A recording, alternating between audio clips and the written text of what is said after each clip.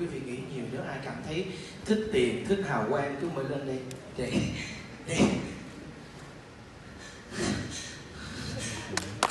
để nếm bốn cái chữ hào quang rực rỡ.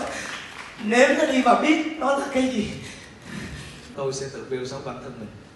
Như tôi đã từng nói tôi là thành crime tôi là Mr. riêng tư.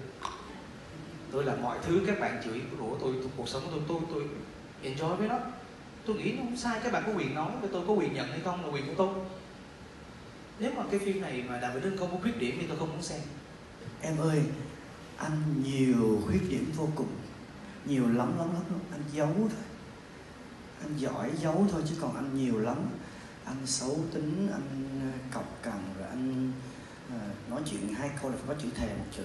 Ờ, à, rồi anh rất rất nhiều thứ khác nhau. À, nhưng chỉ vì cái áo nghệ sĩ nó khống chế hơn nhiều quá, áo có sự nổi tiếng. Cho nên mọi người chưa thấy hết được cái góc khuất đó của nghệ thuật của hưng. Thì phim này mọi người sẽ được thấy tất cả những cái điểm không, quý vị nghĩ nhiều, nếu ai cảm thấy thích tiền, thích hào quang cứ mới lên đây để để để nếm bốn cái chữ hào quang rực rỡ, nếm nó đi và biết nó là cái gì.